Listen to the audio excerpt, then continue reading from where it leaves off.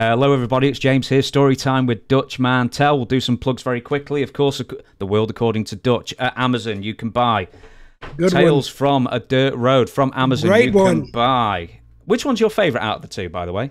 Actually, the, I think the green one. Tales from a Dirt Road. Okay, well there you go. If you're going to start off with one, start off with that one, and Owen Hart King of Pranks that I have done, and The Rock, the People's Champion, both on Amazon as well, very highly regarded. If I do say Let me so ask you something. How many pages in the Rock book? Jesus, there's a lot. Uh, A lot. It looks. It looks a lot. uh, I don't know if you can see that there. Yeah, that's about 400 pages Yeah, at least. At least. I'll uh, I'll tell you. In fact, um, including oh 346. It's the Owen Hart book that's over 400. Oh, really? Yeah, I'll tell you. I My book has. uh, It's almost. It's like 360.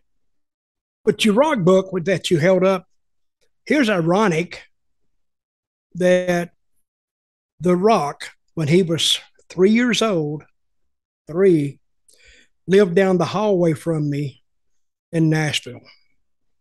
And I saw him one time because he was like three. And, uh, but that's where he lived with his father and his mother, which are, his father's passed now, but his mother's still alive. And he was, his name was Dewey because I used to ride a lot with, with Rocky Johnson and he'd talk about Dewey. And I never formally met him, but I would see him in the hallway sometimes. And he was always scampering around out there in the hallway, and I would open the door sometimes and see him. But good guy, really good guy. Hmm. He came a long way. And did you know when he went to college or got out of college, I think he was broke. He had he had like twenty five dollars to his name. I think he wrote this in one of his books. Seven.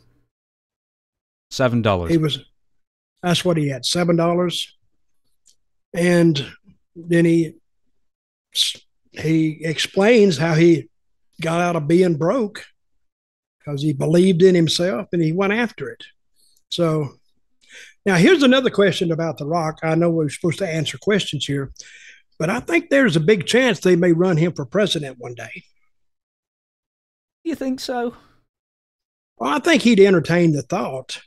And I also think that I think he had a he has a good chance of actually getting it.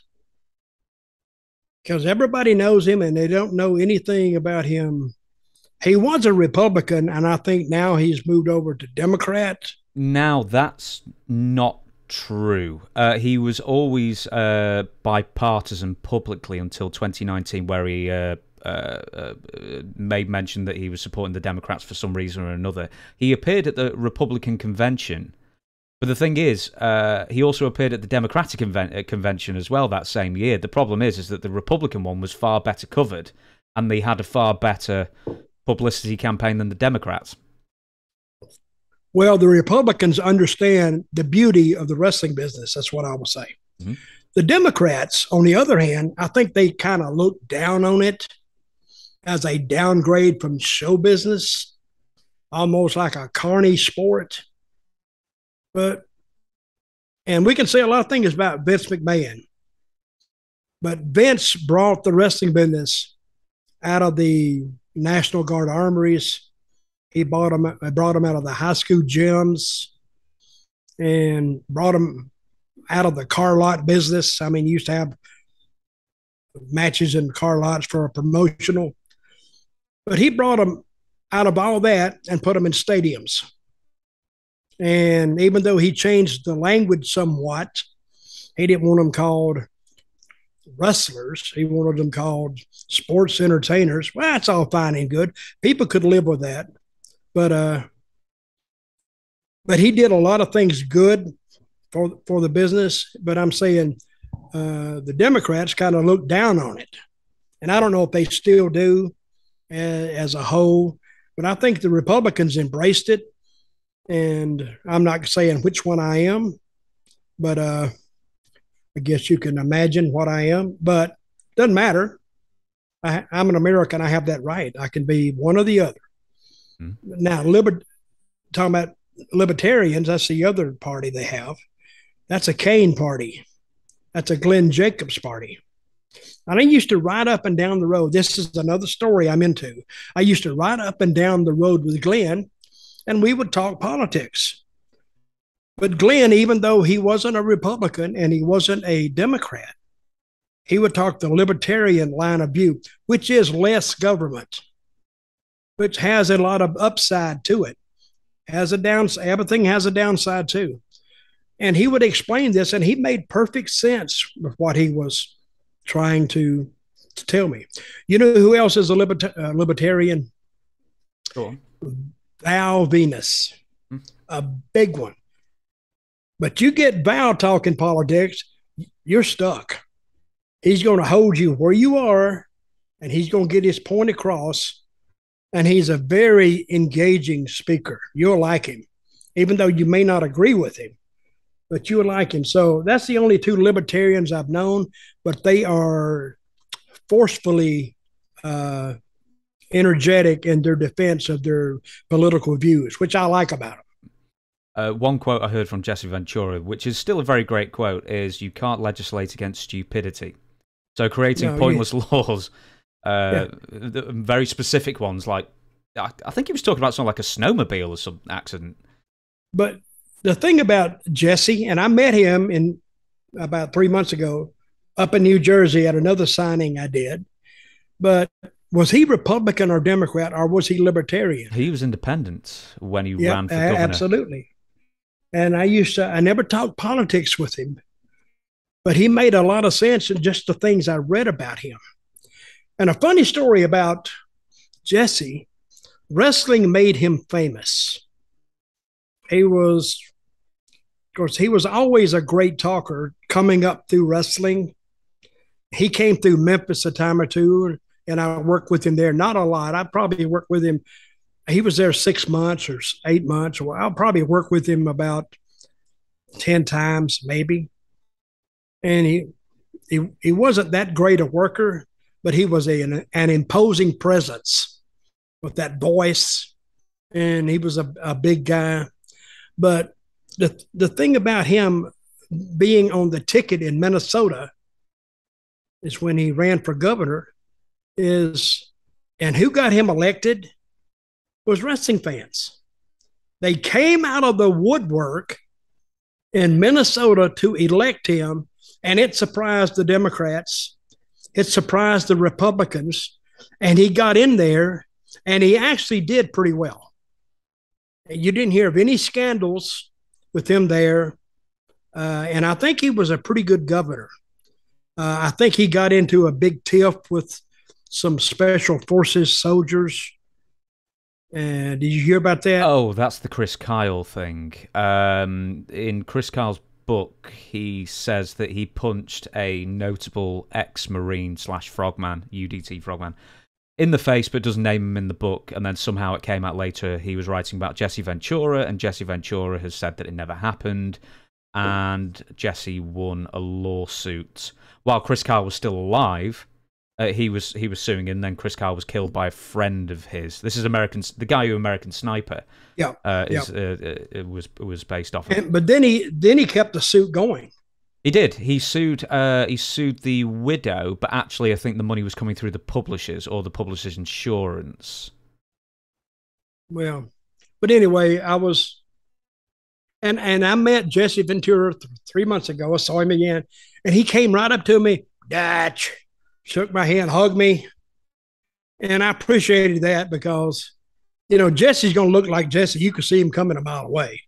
And I guess with this mustache, you could see me coming a mile away too. But uh, I was uh, very appreciative of him coming up and saying hello to me. And I'm sure if I'd have been at another part of the building, he probably wouldn't have tracked me down just expressly to see me. But very friendly, and uh, I and I, I enjoyed seeing him again. And I thought my view on him, whether he's Democrat, Republic, I, I can still appreciate his views and not agree with him. Absolutely. Um, well, we have some people who have written in for questions, as they always have, and the first one is Mark in Saigon, which I've actually Uh-oh. been to a few, a few and yes, so have I you. Have. yep. I've been there. So what do you say? Well, it's funny. We've both been Saigon in different decades and for different reasons. Uh, hi, guys. Love the podcast. Given all the talk recently of booking, I'd be interested in hearing what you think the requirements are for being a good booker and who you would consider to be slash have been one. Uh, well, anybody, let me, I, I, and I've actually thought about this question. anybody can be a booker. Anybody. If you get somebody said, okay, you're the booker, you could be 14 years old and you can be a booker. And you said, all right, this is the first thing we're going to do. Dutch, you're you're working with James. So tonight, I want you to go in there and hit him in the head with a two by four and leave him laying. Okay, boom. That's it. That's an angle. But the next week, he's thinking, oh, now what do we got to do to follow up on that? It's not the first step, it's the second step. So I go in the ring and you say, okay, James, tonight Dutch is in a match. I want you to go in the ring and hit him in the head like he did you last week with a two by four and leave him laying. But now, guess where we are? We're back where we started. But that is booking. So the third week, we guys have a match and it's a double pull apart. We're still like where we were. Nothing has advanced. So, and then the fourth week, they put us in like street fight or whatever, but they've already seen it. But I mean, anybody can be a booker. It's the artistry behind the booking is what counts. So, and I think we talked last week about the angle between Matt, two names, Matt Riddle and Seth Rollins. And if you you told me in the email that I have been advocating, I like that word, advocating for this approach for, for months. And I have. They told a story. And now, if creative doesn't get too aggressive and let it take its own natural course, because they book from pay per view to pay per view basically. So the pay per view being the big show, what used to be what we would say a big show, we didn't have pay per view years ago. We just went to a bigger building. So that was an upgrade. We could draw more people. We could make more money. That's what a, a pay per view is. And now they're they're they're booking like that, which makes sense. Now, where did I learn booking making sense and telling a story? Well, from Jerry Jarrett is one. He was the old Memphis booker, and he learned it from somebody too. He learned it from one of the Fullers who owned the territory years before. And then Jerry Lawler took over, and I watched him too. It was a different style of booking, but both were successful. Like in Memphis, especially, Lawler would book six months, and Jarrett would book six months, which I thought was really a beautiful thing because they didn't have time to burn out. I mean, they had the same talent. All they did was just step in. And Lawler liked to book in the spring and summer. You know why? No. It's not. It's not football season. Oh. he's a huge. He's a huge Cleveland Browns football fan, so he don't want to be bothered with booking and you know trying to run a territory during football season. He was he was too busy following the Cleveland Browns. And uh, I learned a lot from Jerry Jarrett. I learned a lot from Lawler because he learned it from, from Jerry. I learned a lot from an old time booker named Tom Renesto, who was one of the original assassins, who I used to actually, I was his driver. And we would ride up and down the road, a brilliant man. I would talk to him, great talker. And, and he would tell me, I mean, he didn't teach me this, this, and this. He would just talk and I would have to piece in the pieces. I knew what he was talking about. Eddie Graham's another, and I think we covered this last week, or uh, some great bookers. Bill Watts, Bill Dundee is a good booker, and uh, Ken Mantell, who's I'm not related to. He's the one who got Texas up and moving. You know how many questions George, I get? Sorry, I'm sorry to interrupt. You know how many questions I get asking if you're related to Ken Mantell? Really? Yeah, that's like the most asked question I receive. I never ask it you. Well, I'm not related to him. And to add to that answer, he's called a plastic brother. See what I mean? I'm not really related to him, but I'm it's plastic. It's a name. Yeah, a plastic brother. So but I'm not I'm not related to him. I'm not related to actually Mantell's not know. Mantell's not even my name, and Mantell's not even his name. His real name is Ken Lusk, and my name is not Mantell. So we both got the names from from I don't know where he got the name, and but uh, I'm going back to booking. But Eddie Graham was a great booker. George Scott was a great booker, and uh, there's, there's probably been a few more. Buddy, uh, Buddy, and uh, Ron Fuller, great, great bookers, but but I think booking is not necessarily learned as it's like breathed. You breathe it. You kind of understand it automatically. It's storytelling and using live play figures. is what it is.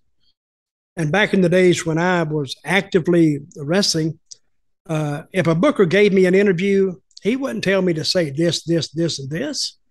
He'd say, You're working with James Monday in a certain type of match. Go out there and sell some tickets. That's what he'd say. And I'd go out there and it would be my promo about you. And I would make it as personal as I could. Then if you'd listen to it, you'd have to answer it. And then we'd, we'd do it like that. We did it the old time way. And I've never heard of a school for, I've heard of a wrestling school. I've never heard of a booking school because there is no such place. You can learn, it's like creative writing. If you can write, you can write. You can make grammatical mistakes and spelling mistakes. But if you tell a good story, people overlook that.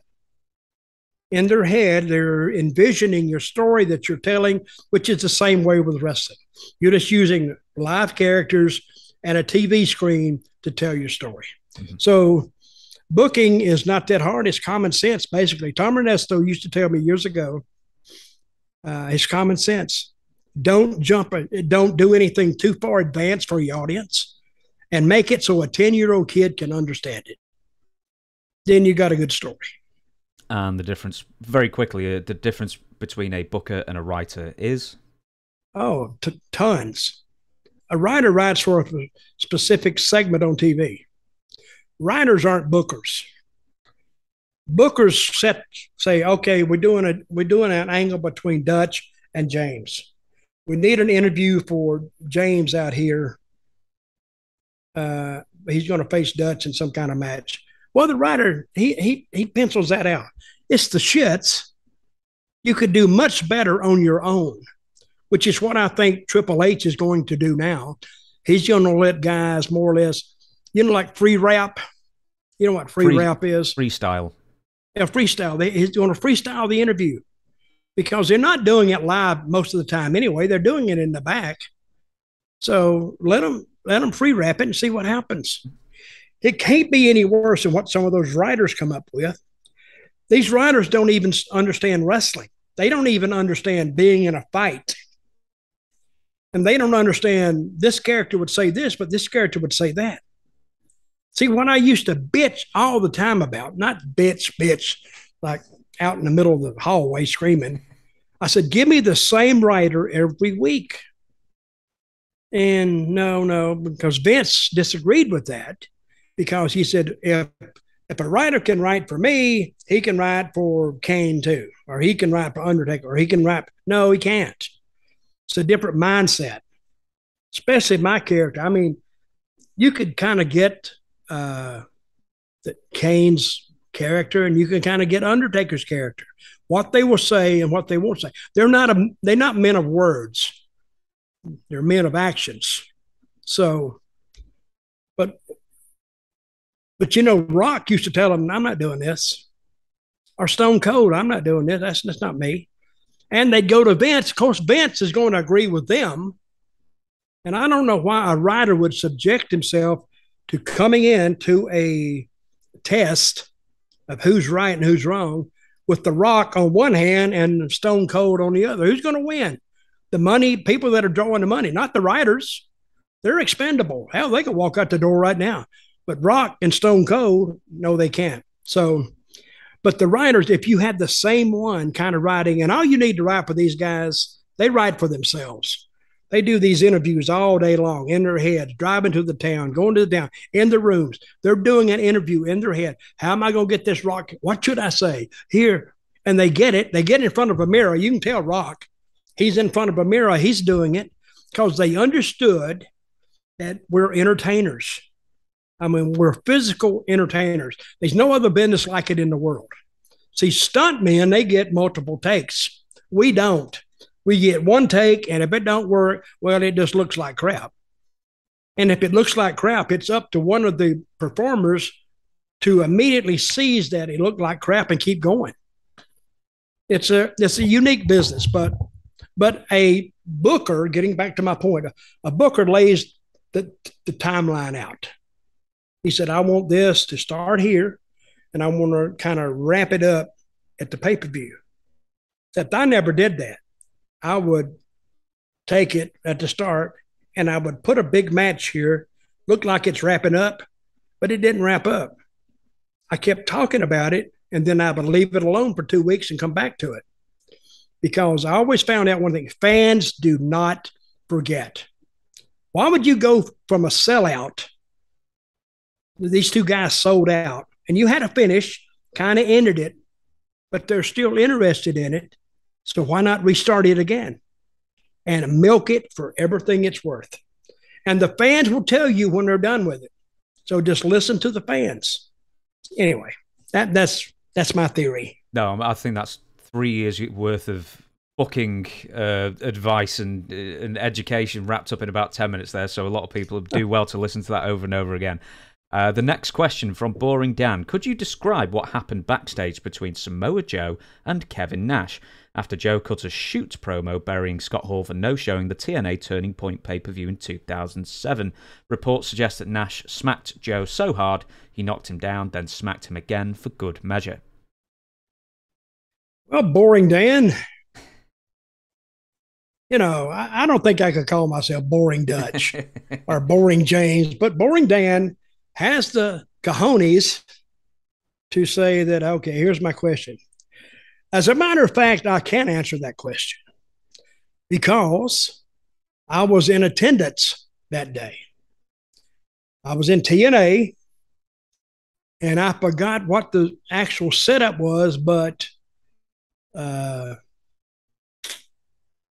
Kevin Nash and Samoa Joe and who didn't show up? What was his name? It was Scott Hall. He no show. I can't. I can't. Well, see, I forgot his name from where you mentioned him to now. but anyway, but Scott Hall didn't come. Now listen, we all kind of had it in our heads that, you know, maybe Scott isn't the most reliable guy in the world, but Kevin loved him like a brother, which will tell you why he acted the way he did. So we went out and they left it up to Kevin, and I forgot what they were told to say, but they left it up to Kevin and Joe to kind to send out the message that something happened to Scott and he won't be here today. Well, Kevin did his part first and handed the mic to, he soft soaked it. He like soft sold it something happened or this and that. Well, Joe didn't do that. Joe went out there and literally scorched him on the mic. And I'm watching from backstage or on the, I was around the screen backstage. And I saw Kevin get over, he just eased over to one side of the ring and he's leaning on it like this, like, you don't know what he's thinking. But I'm to myself, I'm thinking, nah, this is not going down too well with Kevin. So they leave the ring. Kevin didn't say another word in the ring. And I like Joe and I like Kevin. So they both come back, and I wasn't there, but this is, I heard this about 10 minutes after it happened. Kevin walked up to him, and it was like, you know, you have these big buildings, Studio A, Studio B, C, and D. Well, they were out like in the middle of all four of them, and they had a little bit of a crowd around them. And Kevin just asked him, "What the hell was that?" And I think Samoa Joe, Joe, he said something like, "Well, he's not here. I'm not taking the heat from or something." I don't know what he said. Don't quote me on that.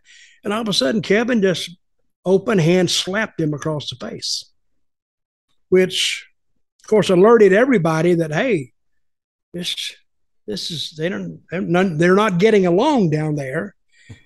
And I don't think he he knocked him down. I didn't hear he knocked him down. But then he got up, and I think then Joe realized, hey, man, maybe I, I shouldn't have said it. And I, he may have tried to even tell Kevin he was sorry. He didn't realize that it came across like that. And he could have been legitimately sorry. And I don't know if he slapped him again. He could have, but that's that's what I heard. But I think, and the re- and the reason I said that Kevin loved Scott like a brother, now we can understand his reaction to uh, to what what Joe had said. But I think it was left that day that Joe shouldn't say anything about uh, about Scott anymore on a live on on a live mic. So, and and that was the way it was left. Nothing else was said. Nothing else was done. It happened. We moved on. Uh, they both say that they're friends now, but uh, when that happens and Scott Hall and possibly shows, possibly that's true. Yeah. Uh, when when that happens on the day Scott Hall no shows, I mean, as you said yourself, you're half expecting him not to turn up. But I mean, is your allegiance with Kevin Nash for defending his friend, or is your allegiance with Samoa Joe for actually being truthful with the fans and lambasting Scott publicly? Well, I I didn't have an allegiance. It was one of those things that happened. I can't say that Kevin was justified in slapping a coworker and I can't say that Samoa Joe was, you know, was right in blasting Scott. It was one of those things that you don't foresee coming, and all of a sudden it's on top of you. So, but nothing happened to either one of them. I think they moved on, and as you just mentioned, they're friends now. I'm yeah, I, I think they are friends because I think there's a there's a lot of mutual respect between them. But at the time, Scott was really having a hard, hard time. And Kevin had worked really, really hard to get him into TNA. He actually kind of pushed for him and used his influence within the company to help Scott out because Scott, he made a lot of money, but he may have spent a lot of money too. Mm-hmm. And he may have needed to go back to work. And then all of a sudden, I don't think anybody felt worse about it than Kevin because Kevin was the one who went to bat for him and then he left his friend hanging. And, but I think it's all water over the dam now, and so they're friends. So I'm glad for it. Let's move on then. And Engelbert asks Was it true that Jerry Lawler was trying to book himself versus Elvis Presley for the Mid South Coliseum not too long before Elvis died? And are there any other celebrities other than Andy Kaufman that Lawler tried to book? Uh, I'd heard the the Lawler uh, the Lawler and Elvis story, but that was about, that was, I think, a year after I had left. And almost maybe a year or two, or maybe three years or four years before I came back. But I did hear that Elvis was a huge, huge wrestling fan, as was at that time everybody in Memphis. If you didn't watch wrestling, you didn't know really what was going on it was like one of those local events that everybody knew it was there, and whether everybody came or not is according to the cards you had. But everybody was more or less accepting of wrestling and and respected it. And as far as him knowing uh, or having Elvis in a match, I think I'd heard he had contacted Colonel Tom Parker which was his manager. And I don't think the money was right because I don't think Memphis could could guarantee the money that he would get in Vegas. I think that was the main thing. But I think if the money was there, I think we would have seen Jerry Lawler and Elvis in a ring either together or against each other. I don't think we'd have, but Lawler was a big, big heel then. So him booking himself against Elvis, I don't know what they would done with that, but it would have been a it would have been a big big draw. If they'd have had pay per view in those days, I think they'd have done a hundred thousand pay per views hmm. just off Memphis. Is what I think. uh, and, but I did hear about it, and I, I think also that uh, Elvis was sick, very sick by that time, and he had a lot of problems. So, but in answer to the question, I heard about it and I wish they had done it or been able to do it because I would have liked to have seen it. Elvis would have had, depending on the month around that time, the weight advantage as well. So, and he had all he those karate moves. So you never yeah. know. I think Elvis would have blown up on the way to the ring. and if you watch him late in his career, he was a profuse perspirer. He sweated a lot. And I don't know what that, that they, they had to do his makeup a couple of times during the set because he would sweat it off. You know, a lot of things about uh, I'd, I'd heard about Elvis, and this is not wrestling, but Tom Parker took him to Vegas, and he was one of the first performers to sign an exclusive contract at a casino there. But he signed him at a price at later on. I think he signed him for four four years, three three, four, or five years. But the other performers started making more money than Elvis. Uh, Elvis was still outdrawing them, but they were getting like a hundred thousand. He was getting fifty thousand. So well, that had, set, he had a I don't uh, know 50, 50 50 split, didn't he, with uh, yep, the Colonel? They sure did. They sure did. And the Colonel knew what he had. The Colonel knew what you know what money box he had. Uh, 50 50. But the, and I don't know if the Colonel made him, Elvis made himself more. I think it does. It didn't matter who had Elvis at the time. I think that Elvis would have been just as big a success with or without Tom Parker. I can't say for sure, but he was one of those once in a generation performers that doesn't matter what manager he had, he was going to make it anyway. Definitely. Um, it's like me. It's like me and you, James. You know, we were gonna. somebody was going to discover us somewhere. Yeah, we we are two once in a generation talents. I think. And I bet the people saying, "Thank God." we will move on. Uh, Shane Krieger loved the show, and Memphis Saturday morning shows are some of my fondest memories from my childhood. My question is How was Austin Idol in and out of the ring? And any favourite matches or stories you have about the Universal Heartthrob? I do. I was tagged up with him one time, and we were the champions of something. And we, they asked me one time, where did we win these titles? And in these days, you could just grab just shit out of the air. You just, I said, well, we won it in a tournament in Philadelphia or somewhere. Where? Well, you know, that building downtown, whatever. Who was in it? You know, a lot of people, you know. I just said we won it in a tournament in Philadelphia. And that's what Lance kept saying. Oh, they won this big tournament and became the champions. Well, there was no tournament. There was no match. There was no, well, there was a building, but we just made it up. But, uh, and me and Idol, we teamed up for about, I don't know, two months, maybe. And Idol is a weird duck. He is. Doesn't drink, doesn't smoke dope, which was like a prerequisite back in those days because that wasn't hard drugs.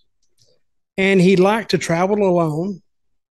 He did have a friend. He Lawler was his friend, which tells that eventually I was separated from Idol. And then Idol came in, and Lawler was a baby face. Idol came in every, I don't know, six months or so, and he'd stay two or three months and then he'd leave. And he was one of those guys I, I call the outliers. I talked last week about St. Louis being an outlier. Well, Lawler used that too. He would book guys like Terry Funk and Idol, Dory, uh, Joe LeDuc, and he would come in for special shows. And that kept Lawler special. Great booking, really. And it was smart booking, but he kept Lawler on top. and kept his friends. You know, he had his own group of guys, so they were loyal to him. But uh, but I seen a lot of times where he would book Idol, and Idol wouldn't show up. Oh my God, he wanted to kill Idol. And then he called up, well, I had a flat tire or did this, did that. It was one show. I mean, they would fly him in the afternoon, fly him out in the morning. But uh but Lawler kept him kept him in that role for a, for a long, long time. He drew money. He, he did do that, but but Lawler as a, he wasn't a he wasn't a like a a guy who was super friendly with everybody he would come in and he'd have his own little dressing room. And I mean, I'd go in there and tell him kiss my ass, or whatever, because I knew him. But most of the guys, I mean, he he didn't have a lot of friends amongst the roster. I mean, everybody was friendly to him, but as far as him like being one of the guys, he wasn't. Uh, with Austin Idol, is he somewhat of a trailblazer? Because he seems to be one of the very first people to do the uh, superstar Billy Graham sort of thing, you know, with the great body and the bleached blonde hair and everything. Mm-hmm. I think mm-hmm. even The Rock has said that he stole some lines from Austin Idol. Yeah, he may have. But Idol was, yeah, he was a trailblazer in that regard. Uh, you asked another question in there. Was oh well, I'll ask another one. Uh, did you ever hear the uh, story where he cashed a fake check for real oh, money? That's what I. That was that was what I was going on. Oh, good. this was in the Georgia territory, and it was in the seventies. So they had this battle royal, and the winner got like five thousand dollars. So they actually wrote him a check for $5,000 and presented it to him in the ring. And he took the check, he folded it up. And the next morning, and it was a real check. It was writ- written on the First National Bank of Georgia or some whatever. He went down to the to the bank. And it was and i don't know if it was written out i don't know what his real name is. I forgot now. Mike what, mccord what was his i don't know if it was written out to mike mccord. I think it was. I think. Or but somehow he got the check cashed the next day. And then guess what he did? He left the territory by god who would have thunk it he took he took a bogus check. It wasn't bogus. I mean, it was a real check. But to the fan, this is trying to keep kayfabe alive. They took the check. Here it is. And the camera got in on it, you know, and they did it for TV. And they give it to him. He took it. Thank you very much. I love you, people. Blah blah blah blah blah. Hey yo, he was doing Austin Idol stuff. Hey yeah, blah. And he marched out, and everybody was happy. To the next morning, or probably to the next week, when those checks came in, the check statement and they've had a check cashed for $5,000. And they tried to, I think they tried to legally charge him with embezzlement or something. But guess what? In doing so, they would have to have, have they would have to admit that wrestling was pre-planned. And they weren't quite sure they wanted to do that. So he made five thousand dollars. That's a true story. Heck of a leaving present. uh, we'll move on. Perry Horton. Uh, he emailed a few weeks ago. He emailed like 40 questions. Uh, but one of the things that he did mention that I thought was worth mentioning was your memories of Sugar Bear Harris, who we oh, yeah. better know as Kamala. Sugar Bear Harris. I walked in the dressing room in Memphis and I forgot what year it was, years, years ago. And there was James, I called him James, but Sugar Bear, he was standing out in the hallway. And I had I known him, I'd known him from somewhere, you know, and we knew each other. I shook his hand, what are you doing? And he said, Oh man, I'm just I'm just here to see if I get a job. I said, Well, talk to Jerry, Jerry Jarrett, Lawler. So he walked in there and he walked out. And that night, I think he he left before the, the matches started going. So I don't know how his little meeting came out. So, but and I was helping with creative in Memphis there for a while. So we went to the meeting, I think maybe a week later. And Jerry Jarrett brought him up. He says, What do you guys think about Sugar Bear Harris? And because he, he got the name by working for another group, an independent group down in Mississippi. He's from Mississippi. You know, I love I, I love James Harris. So, and they he's big. He wasn't a smart ass. He's a good guy, really. So they said, I have an idea about him. Now, in hearing this now, it sounds racist as hell, but it worked like a son of a bitch. They made him because Jerry Jarrett had just finished watching watching a show, National Geographic. They still have it on. And they heard about this Dr. Kamala, who went deep into the Amazon forest to treat these people with typhoid or, you know, some jungle disease or something. So they said, well, that'd be a good name. Kamala, the African something, I forgot. We'll call him Kamala. And they said, yeah, but we need to, we need to paint him up some. So, and as you saw him painted up, and he used this in Memphis, then later in Mid South, he'd, he'd paint a half moon on his tummy, and then he'd paint something up, then teeth. Oh, and it was, and he got over like a son of a bitch when he walked out there. And nobody could beat him. He was about 330 pounds, but could move.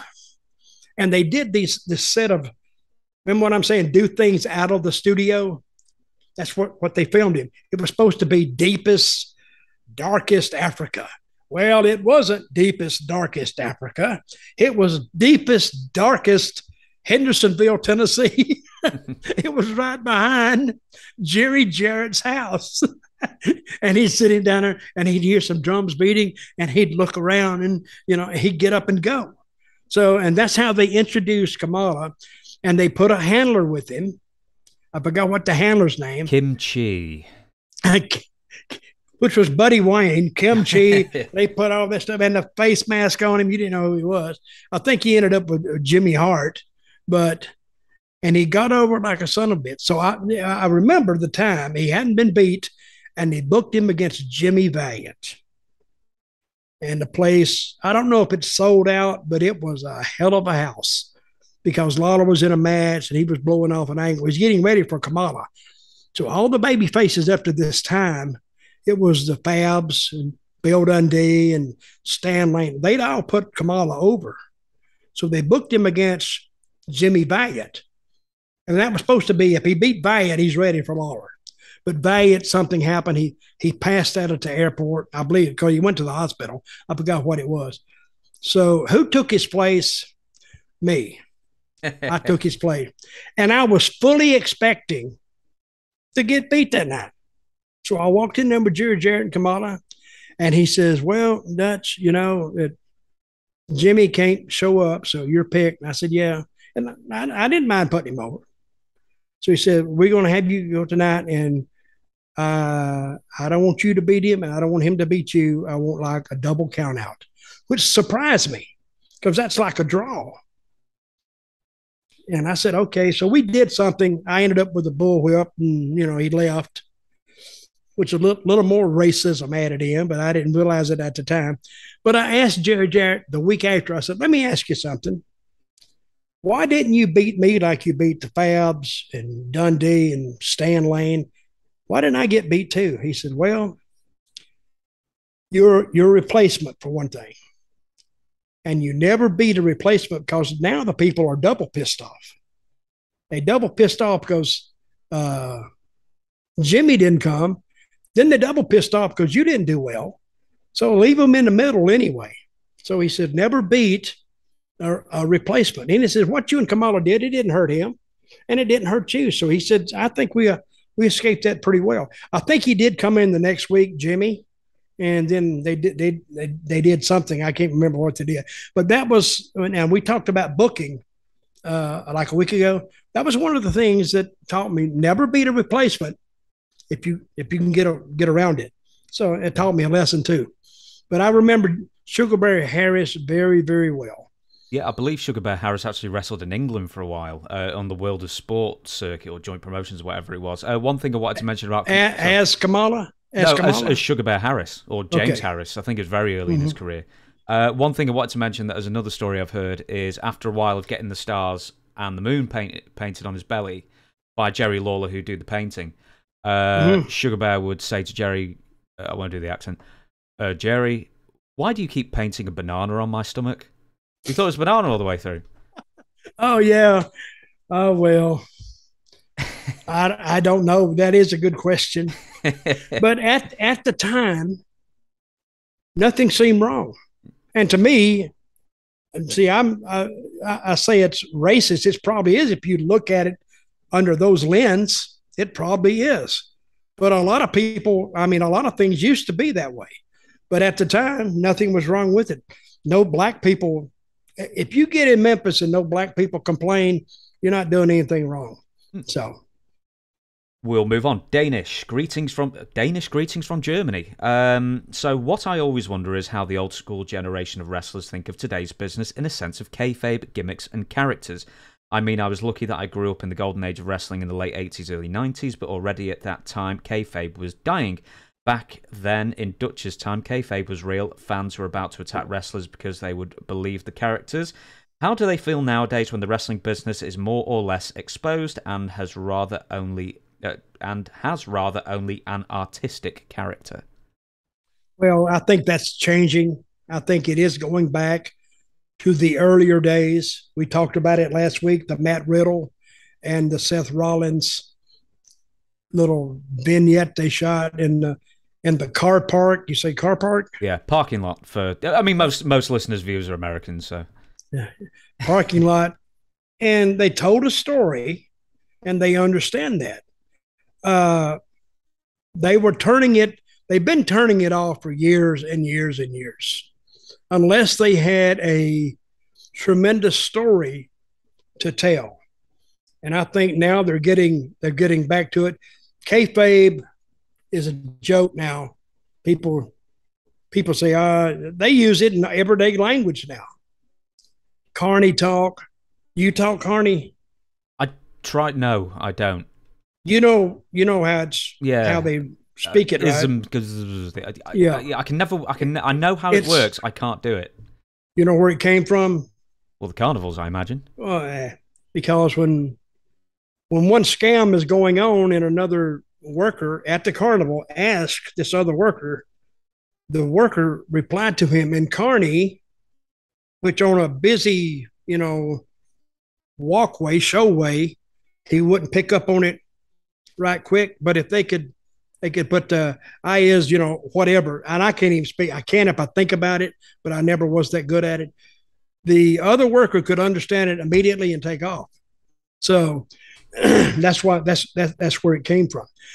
but we accepted that, went on, and I think now uh, the the downgrade of wrestling. I mean, the prestige of it is high, basically, because it's on all some major channels.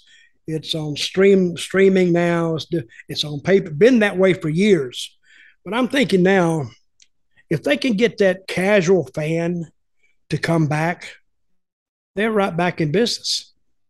But the more fans you have, the more fans you're going to have on pay per view. I mean, because somebody said, "Ah, it's thirty bucks. Uh, uh, let's get it." Hell, movies on Netflix is twenty. So if you're going to take a just an original product and pay thirty bucks for it, yeah, and they'll get a bunch of people to chip in, and, and that's what they do. But and what was the question now? How has it changed? Yeah, I'll read through it again. Um, it's a lot to read through. Uh, back in Dutch's time, would be how do, how do you feel nowadays when the wrestling business is more or less completely exposed? uh, same way because it runs in cycles. I mean, it's always been exposed from the day I got in. I heard it as a kid. It's all fake. But then they say, but this one match I saw one time, they wasn't faking that. They damn sure beating the crap out of each other. You always get that. But I saw this match one time, they didn't fake it. And you always get that. So that goes back to my thought. If you could catch them in the in that, you know, that zone between real or not real, uh, if you can again think that's real, that's all you got to do. And I think I've caught them in that zone a couple of times. WCW has caught them in that zone. WWE has caught it. Every territory has caught them in that zone at one point during their existence. And that's when they did the best. Absolutely. Uh, next one. YWC Savior. Question What was Tony Atlas like before and after he became homeless? Did you or other wrestlers know he was homeless right before he returned to the WWF as Saba Simba? I recall Tony mentioning he matured a lot after the experience. Now, this is, I don't know, around 1990 or something like that. He was in WCW in the early 90s as well, I think. Yeah.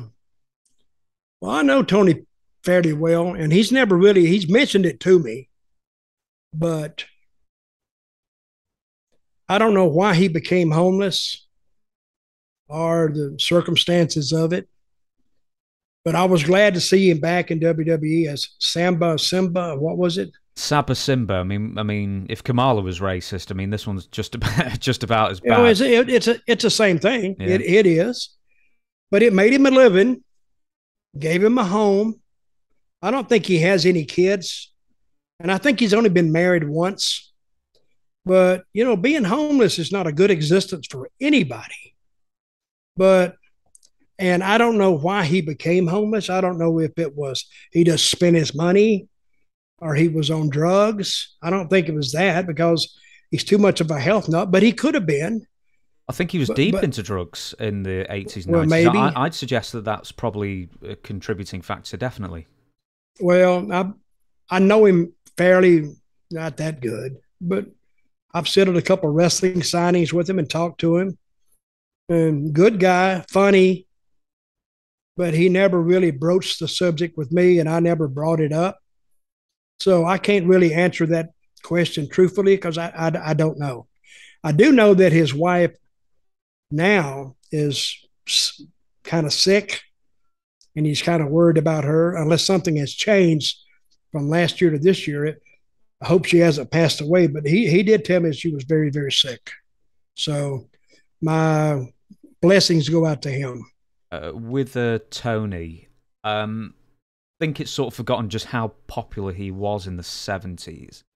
As you know, Black Superman Tony Atlas, he had the outfit on the whole bit, and they used to cart him around on a trailer around town and say, "Come see this guy at the arena tonight," that kind of thing. Uh, when was the first time you met Tony? No, they did. No, they did. Oh, did they not? I don't think they did. I I think he's told the story where like you put him on the like, back of a trailer posing and stuff and say he's wrestling tonight, yeah, folks. I'd have to check that out because I hope I've not made now, it up. Tony Tony is a little bit prone to embellishment. I will say that about him. That's what they used to do in the 30s and 40s. They would take them, you know, the wild man from Africa, take him around and but I don't know if that happened to Tony or not. I may call him up and ask him did they did, did, they do that? But uh, I, he's from Roanoke, Virginia, I think.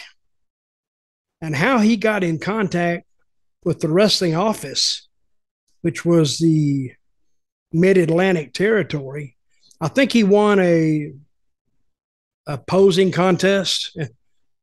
He was cut at one time, and he's kind of tall. He's about six two so they saw him and the hometown boy, and, and, and they took him around. So he actually one of the very few guys who actually started on top because you can't put Tony Atlas in the first match. You just can't.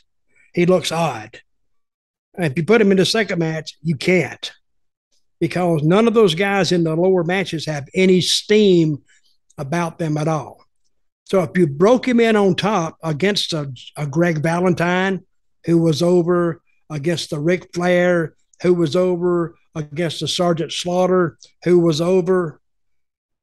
And that's what I'm saying, being over by osmosis. He's just over compared to who he's he's matched against. So, and I think he stayed there, I don't know, three, four months or maybe longer.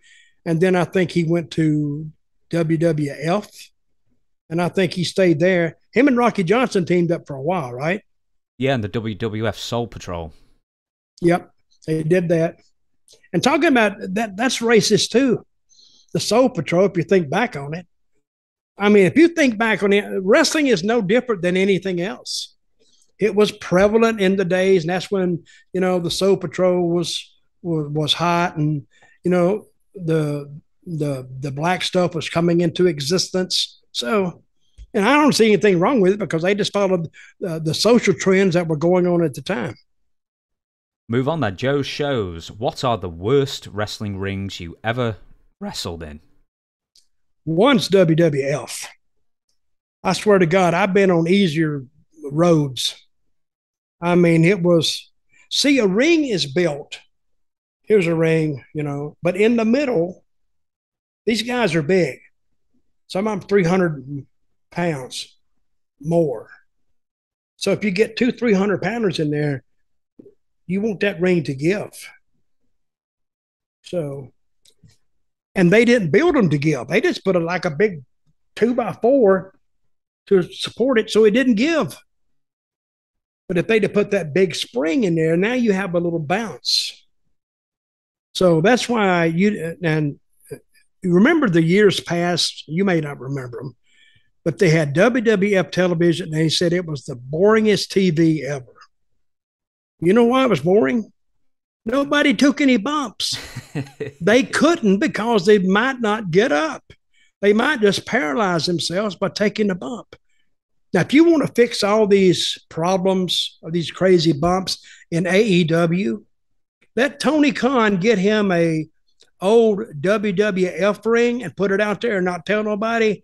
You won't see the bumps like that.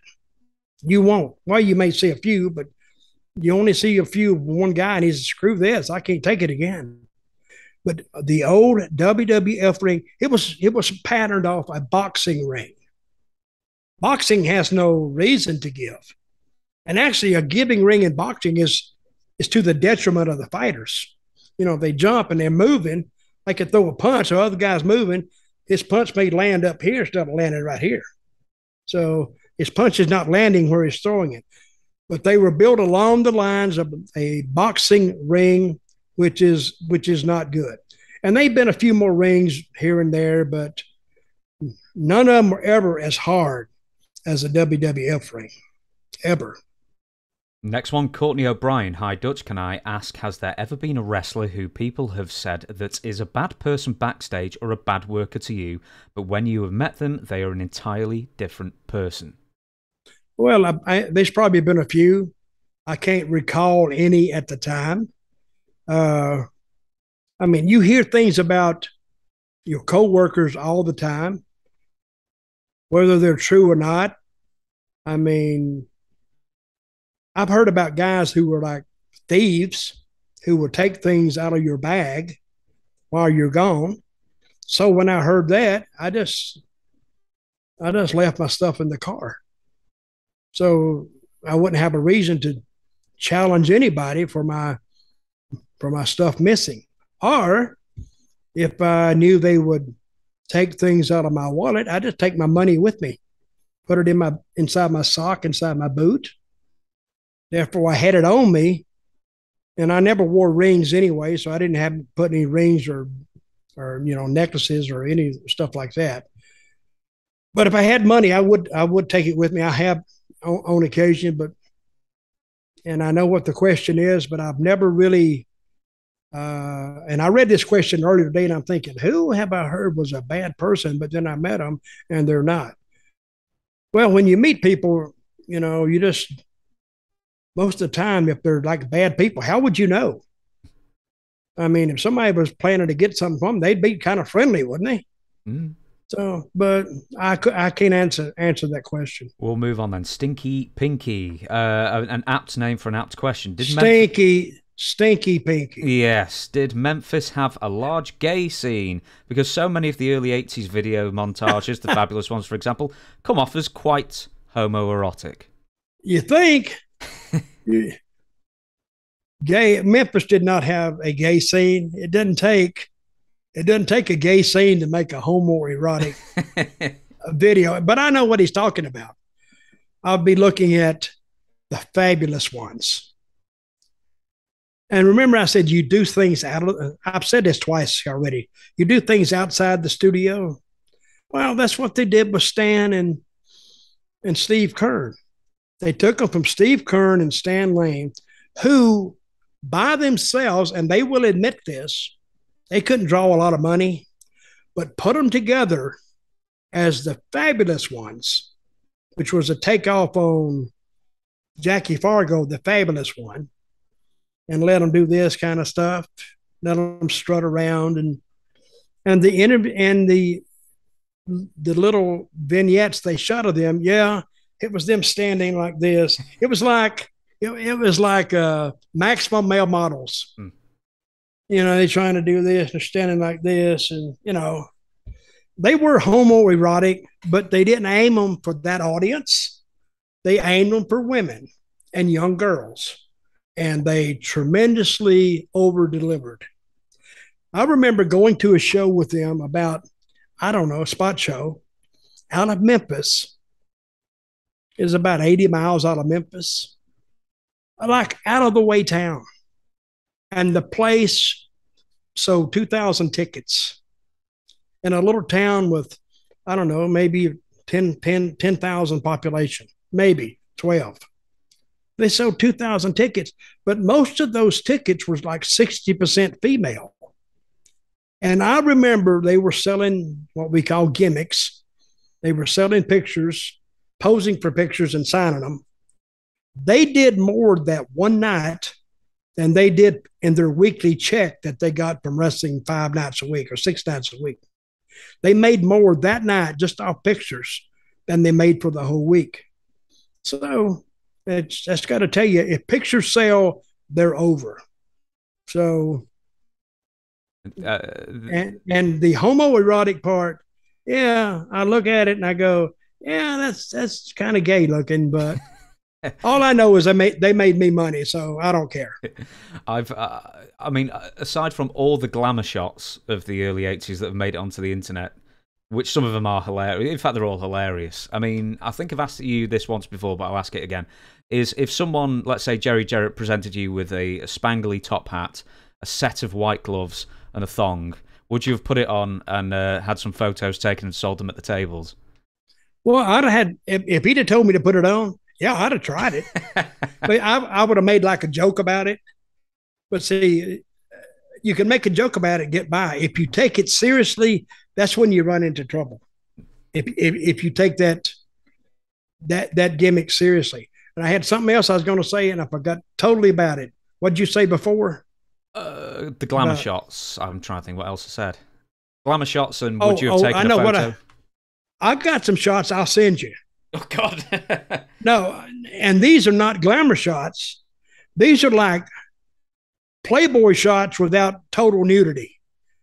I remember that Lawler took one where he just covers up his little mm. wing wing. Dundee took one where they're laying like this. And I'm thinking, I don't know if I could do that shot, but women loved it. Now, this is what I thought about sometimes. A guy's married and he wants to go to wrestling, and his wife doesn't like to do anything else with him, but she'll go to wrestling with him. So that's what she enjoys, he thinks. But why does she want to go to wrestling? Because it's male burlesque, exactly what it is. And he can say, "Oh, I hate that son bitch," and she's thinking, "Wow, you're not you're not looking at what I'm looking at." So, but and there's been a lot of stories about some wives coming with their husband to the matches. Then all of a sudden, she gets up to take a little bathroom break, and she's gone about 20 minutes. Well, she could have slid outside very easily and had a little skedaddle, as I call it, and go back in. And a lot of guys never knew the difference. I never told them. I knew about some of them, but I never told them. And it keeps them coming back for more. Oh yeah, they they they love that. uh, well, we've probably got time for about two more, maybe. At Solid as Snake, we've heard a lot of stories about Alberto Del Rio as a person, but what is Dutch's experience with him? Also, without Vince, can you see a future collaborations between WWE, AW, and New Japan? uh, uh, as we're seeing with AW and NJPW. I think the interesting question is the uh, Alberto Del Rio as a person. Well, to me, he was he was good, great guy. But get him drinking, he changes. But that's just not Del Rio. That's a lot of people.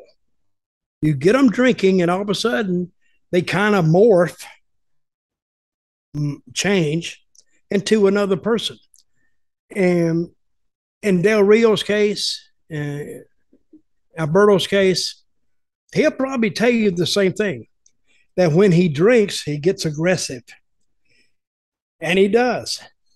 I remember one night we were in Germany and he shows up with a black eye.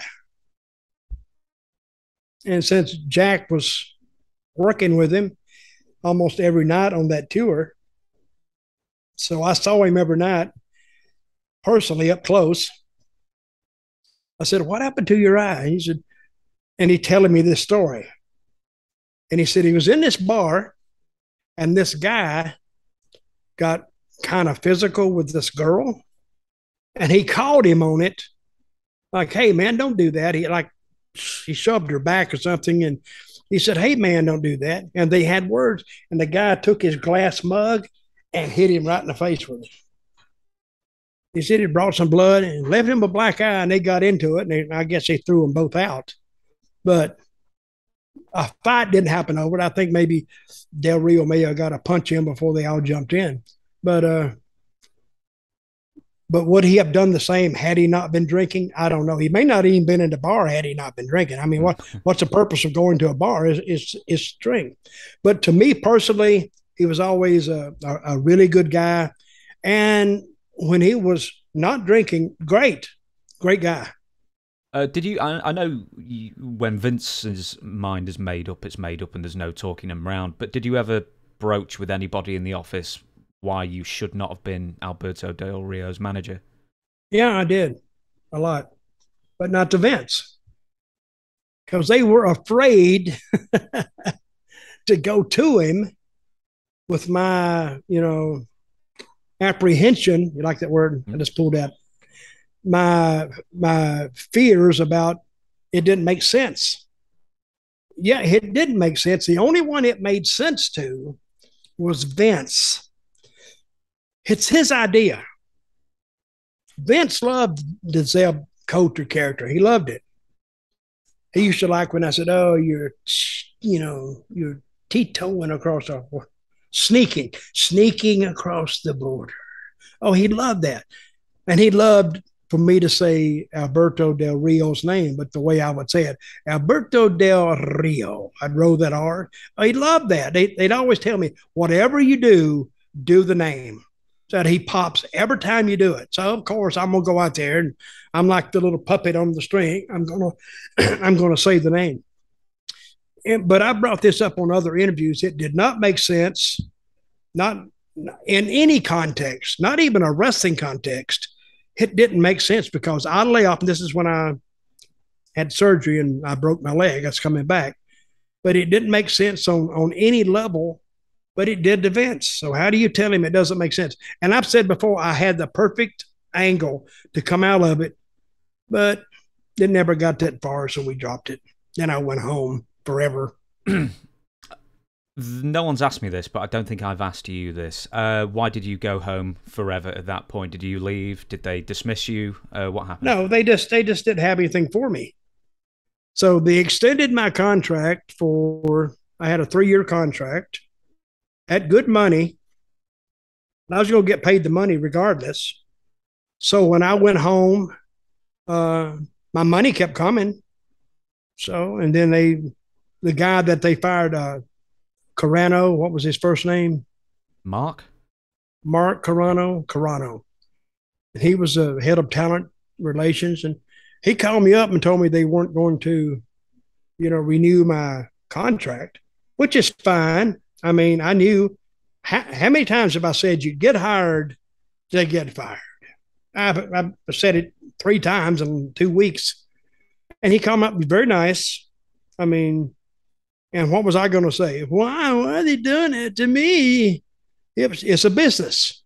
And you expect to, Yeah, I'll sign this if you'll give me this. And then when you're tired of giving me this, let me know.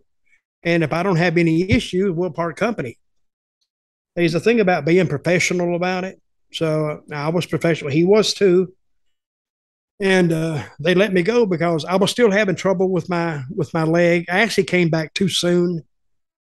I should have went ahead and had the surgery sooner, but I didn't. And but my money continued for I don't know another two or three months. So when you're sitting back and you're making money, you're going to enjoy it as long as it's going to last. Then guess what? The damn checks stopped. Damn them. I can't. That's what I was mad at them for. They stopped paying me. So even though they, they if they'd have kept paying me, I'd have been, you know, I'd have been six months over my date anyway. But I enjoyed them booking me. I got booked at a time when most guys are event, uh, essentially resigning. I think I'm the oldest guy they ever hired and the quickest guy they ever hired. I think I own two distinctions there. And I was very, very uh, appreciative of that because they don't hire guys over 45, 50. And hell, I was 10, 12 years past that point. So they had to, and, and guess who hired me? Triple H. Mm-hmm. Triple H, I think it was his idea or Road Dog's idea for Swagger to get a, a, a, a, a talker, a mouthpiece. And I think uh, Triple H was probably a main proponent of it. And I always uh, appreciate him for that. So, I, and I like Triple H, and I, I wish him the most success in the world. And uh, look who's back in power, Triple H and Road Dog. So you might be getting a call uh, any week now. Well, I doubt if I get a call because I couldn't do it, but I would contribute ideas because ideas they can get a lot of people to play an, a character like me. You just got to be coached a little bit. So, but and I'm the perfect coach for it. So, and mm-hmm. even you know, even after I left WWE, people would come up to me and it says, "I never liked you too much." I said, "Well, I don't know why." He said, "Well, because you're an asshole." I said, Why you say that? Because those things you said.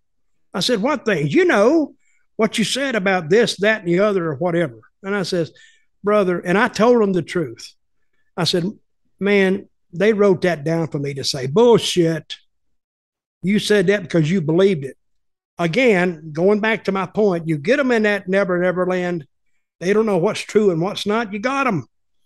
I could have took this guy for a long ride that day, except I didn't have time, and I wasn't in a, a, frivolous mood. So I said, "Well, whatever you believe."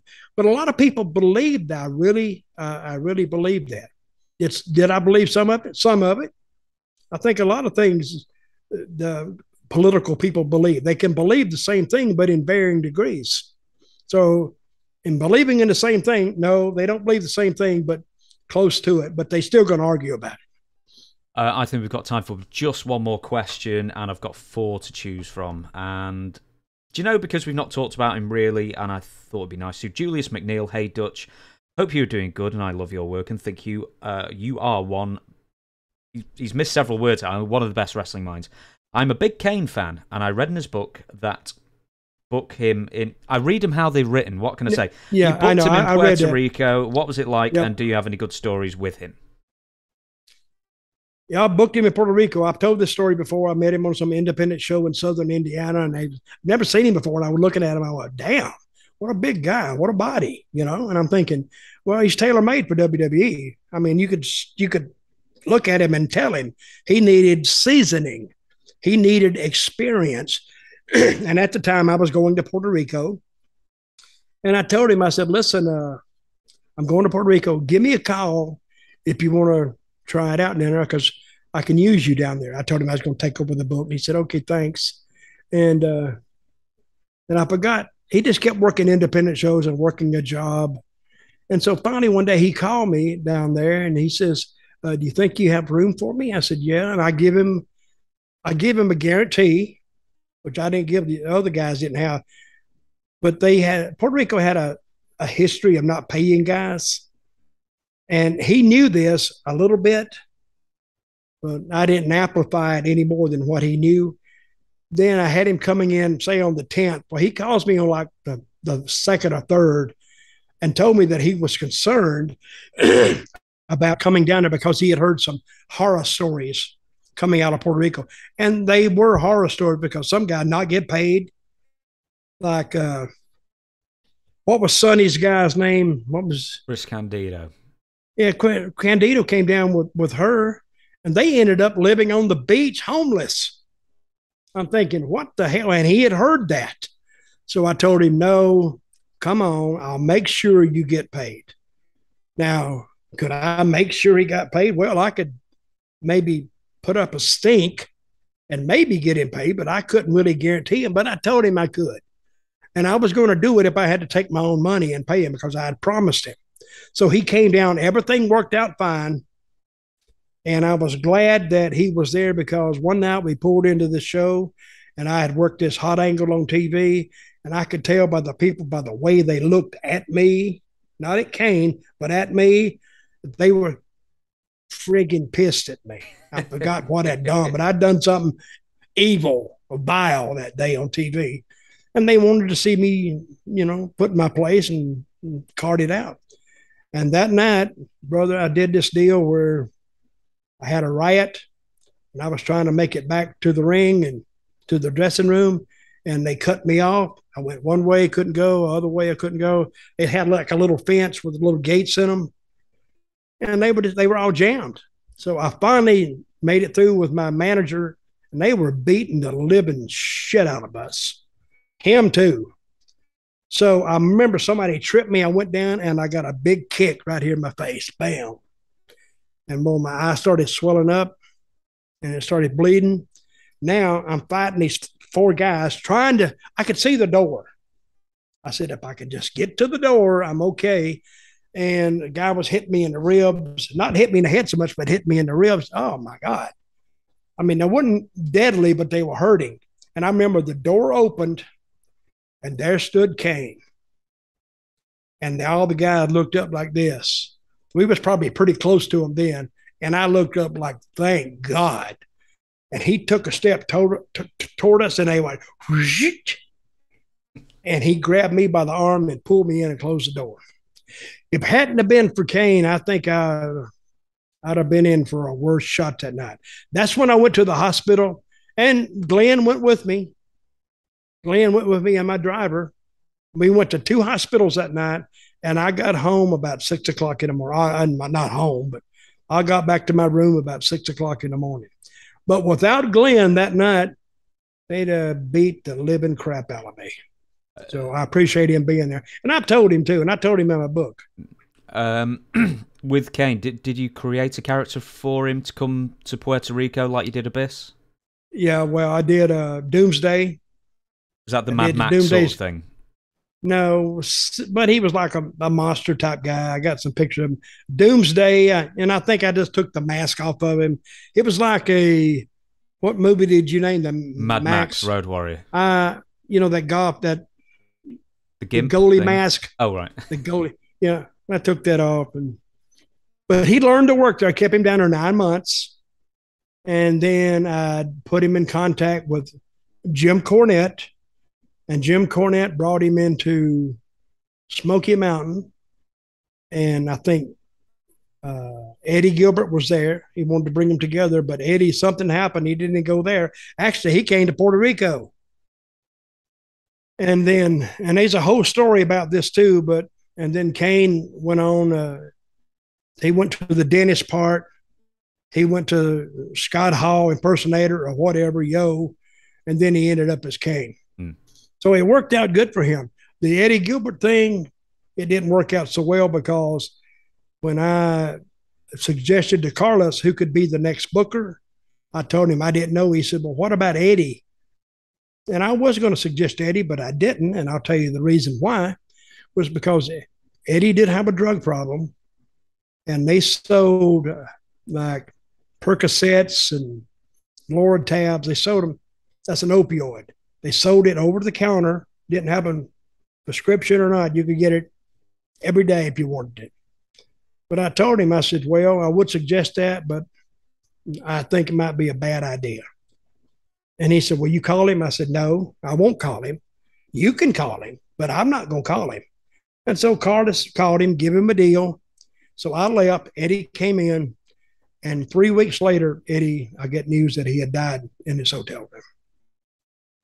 So, but could I change it? No. I mean, free, God gives us free will, and that's what he was utilizing. So, but I hate it. I really, because Eddie was a good guy. And that's in my book too, my next new book. Book three. Book, book number three, Tres, Tres. Uh, Libro, Libro, this is my Spanish. Mm-hmm. Libro numero tres. That's pretty good, I thought. And when's it coming out? When I finish it, whenever whenever that is. Well, have you, have you got like a schedule for it or a goal, a date in mind that you might get it out for? Maybe for Christmas. Perfect time. I hope so. I hope so. Maybe, but don't don't you know you know me better than most. Don't hold me to a deadline. Mm. Cause you know I said, well, I don't feel good today, or this, that, the other. I mean, I make it up, but I'm bad on deadlines. But it will be a very interesting book because in, in this book, I'm going to cover my early years. Nobody knows about that. I've never been freely, you know, talkative about it. This will be about my uh, TNA years, kind of. Then my WWE years and my experiences there. So it should be should be a decent book. And if you can't wait for the third book, there are two more books that Dutch has got already Tales from a Dirt Road, and I can't remember the name of the other one. The World According to Dutch, I just looked at it. Yep. It's on the floor. I can't reach it at the moment. But uh, they're both available on Amazon, and if you want them signed. Uh, you can just email me at Dirty Dutch Mantell with two L's at gmail.com. Tell me what you're looking for, and I'll get, I'll get back and contact you right away. There you go. Uh, only other things to say if you enjoyed this podcast, please give us five stars on iTunes, where else you can rate us five stars. If you didn't, uh, keep your opinions to yourself. And I think that's pretty much it. So thank you very much. Do, do, do we have a join or a subscriber list, or do we do that? Sub- oh, like to email people? No, we don't. Uh, I can I can message people indirectly through YouTube. Like it's got like a message board, internal message board. So are you thinking for uh, when the book comes out, announce it? Well, yeah, but I've seen subscribe. listen, I'm the dumbest son of a gun when it comes to internet or anything. But I see this. Please subscribe. Subscribe to what? What am I going to get if I do subscribe? What do you get?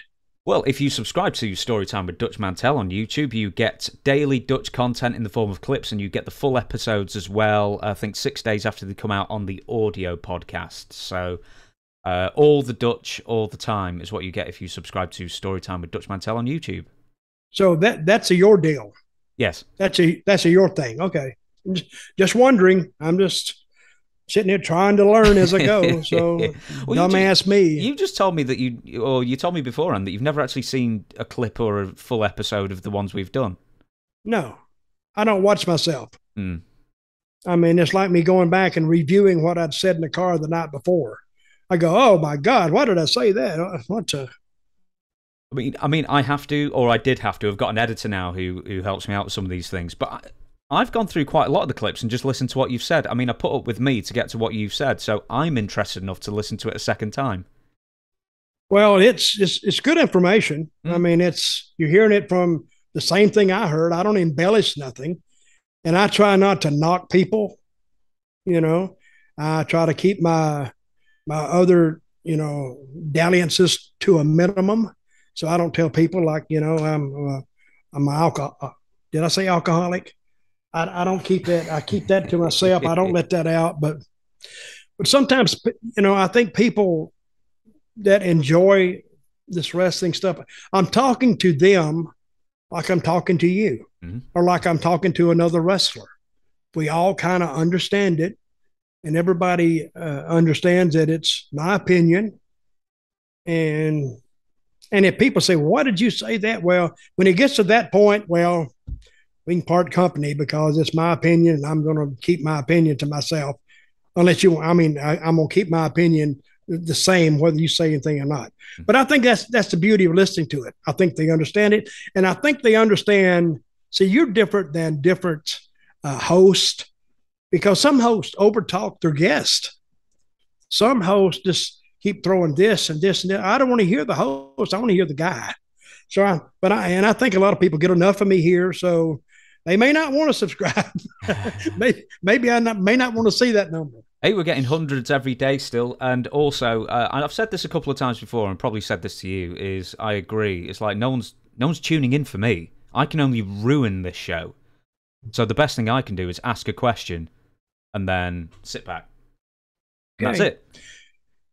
Did we tell them what it says on a U.S. Uh, immigration form yet?